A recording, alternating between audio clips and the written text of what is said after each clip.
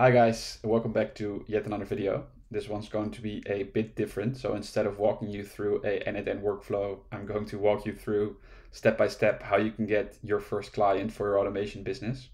Because I assume most of you guys watching have an end goal of turning the skills you develop by working on n8n into stone cold cash and actually make a living for yourself doing the things you'd like do you like doing. I was exactly where you were at a couple of months ago, like five or six months ago when I started working uh, on developing my n8n or my automation skills in general. I didn't have any clients. I didn't have any purpose of doing it. I just watched a bunch of YouTube videos and thought, hey, I can replicate that. And once I started getting the hang of it, I thought, well, this can also be useful for others, but where do I start? And this video, I'm trying to show you where you can start and what I learned over the couple of months that I've been trying to get clients for myself. And even though there are really no shortcuts to getting your first clients, and it is gonna take quite a lot of work, I can assure you, there are some tips and tricks I can give you. And I will also show you some screenshots of examples of automated workflows that I built myself that automate a real big part of the process uh, of getting new clients. So this video is going to be about how to get your first 10k a month. There's such a big hype around AI at the moment and all businesses and everyone in business is shifting their focus towards either AI or towards automating processes, which usually, as you guys know, go hand in hand. This creates kind of the perfect scenario for people who already have the skills to reach out to businesses and to just provide their services to implement either the automations or improve the automations with the new AI or with new integrations. So time is of the essence, but of course you need to know where to start and how to approach the outreach. So I never like to overcomplicate things. That's why if you get down to the nitty gritty, there are only three actual ways of acquiring your first clients. The first is using your own personal network or a network of your parents or of some close friends or relatives you have I wrote it down as you always know a guy who knows a guy. What I mean by that is that there's always someone you know who knows someone who has a problem which you, with your newfound knowledge about automations or AI, can solve. I mean, it's worth it to just let people know what you've been doing, how you've been developing your automation skills, maybe show them what's possible by a YouTube video to get them intrigued. And you never know. They might be like, oh, wow, this is really cool. This could be very useful for my business. And there you have it. You have your first client. I mean, if it's an acquaintance, you might charge just a small fee or do it for free because maybe if it's your first, just to get the experience. And then secondly, there's inbound. I wrote it down as LinkedIn, YouTube, TikTok, but you can think of every social media there is. It's just a way of getting the word out there and getting people to approach you to solve their problems.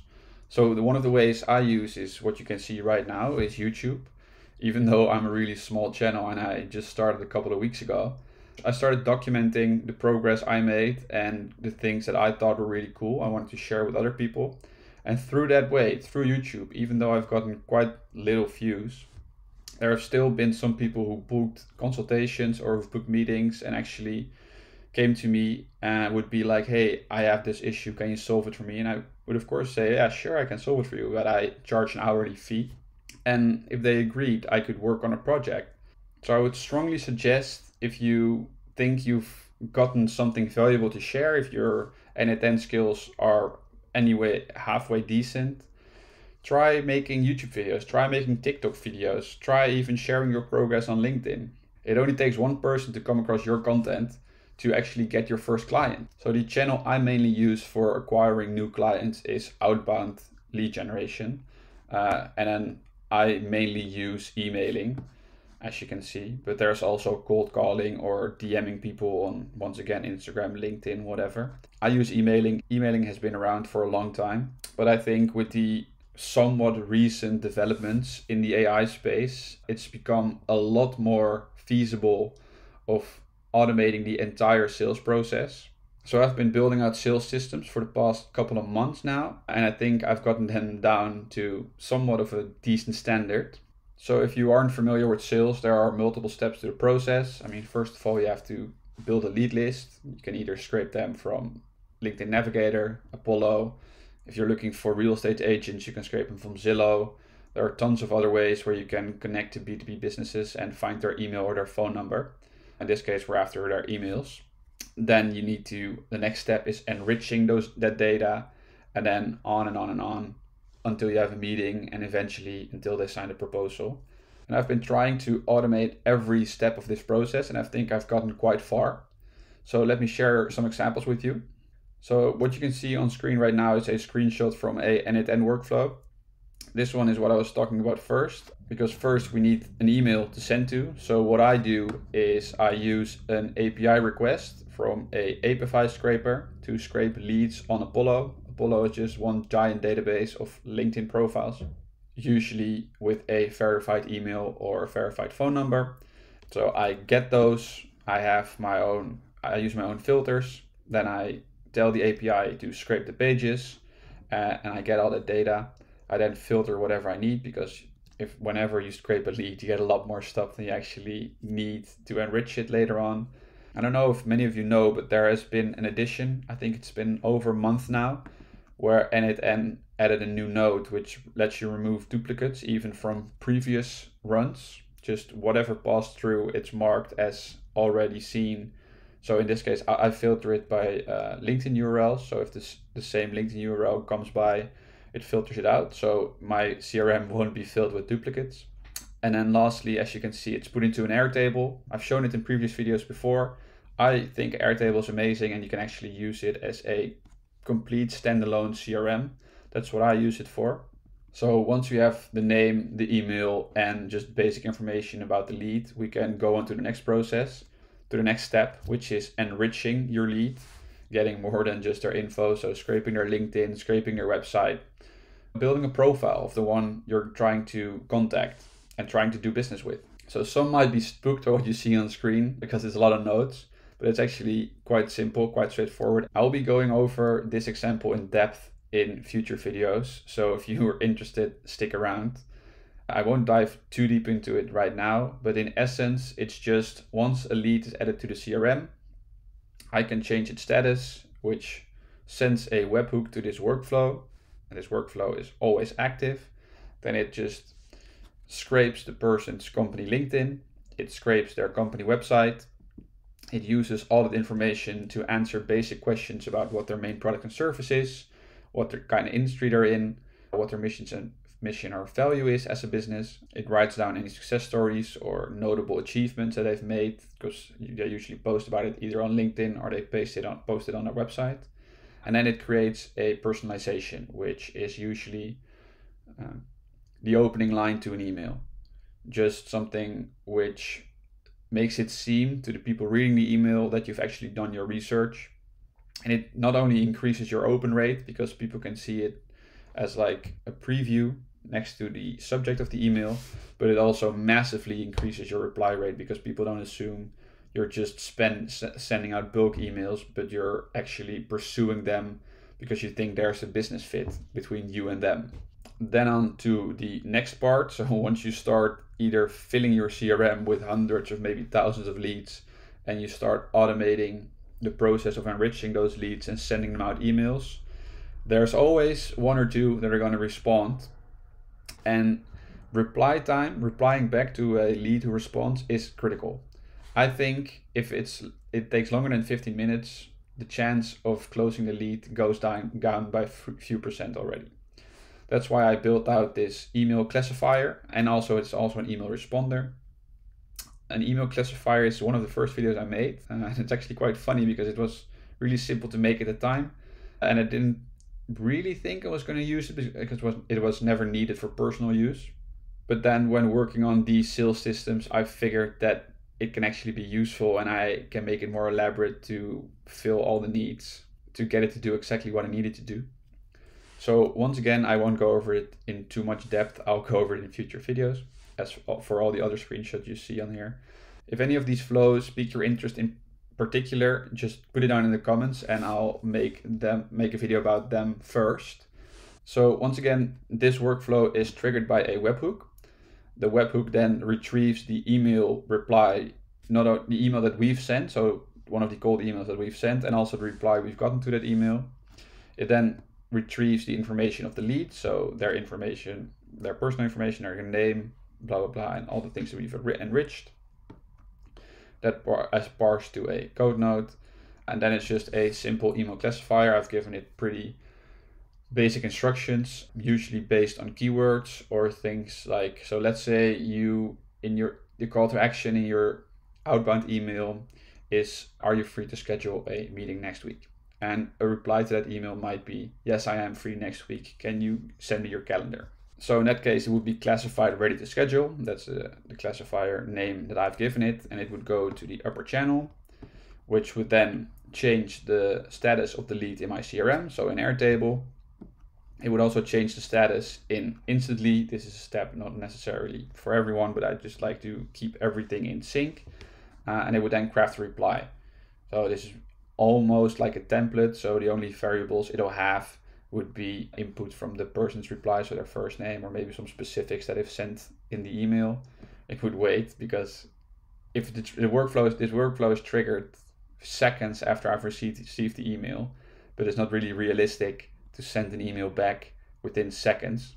That's why this is a random interval, somewhere between five to 10 minutes. And then it sends an email using this HTTP request node. You have to imagine that this can flow indefinitely. So as you can see, there are a lot of routes people can go down. They can ask for request more information. They can have objections, all, all sorts of stuff. Maybe it would be helpful if I sketched a scenario so let's say you send out a cold email, it's your first cold email, and it's telling them that you can build them automations that increase the speed of their processes and increase their ROI within 30 days. they would request more info. So it would go down the more info route. The reply would be received by this workflow and it would go down the more info route. Then you send them a, a case study, for example, that you've made or that you let AI ChatGPT write and they read the case study and reply back to you with, "Wow, this is really amazing. I think this would be a fit for my company." So in that case, it would the workflow would trigger again, and instead of going down the more info route, it would go down the ready to schedule route. You would send them a calendar link to set up the meeting, and voila, it's a one-on-one call between you and a potential client paying you money. So once this reply and answer loop is closed and the meeting is booked, we go on to the next which is quite a simple flow. As you can see, this is triggered when a meeting is booked. For that, I use Cal.com, but you can also use Calendly or whatever. Uh, I would choose choose something with a native integration, but you can of course also choose something which is which can send a webhook. And it retrieves the Airtable data because we need the first name and we need their email address, etc., etc. Then it goes down one of either of these two routes based on do we have the information, yes or no. And it sends out an email with a thank you for scheduling the meeting. I'm looking forward to talking to you one on one.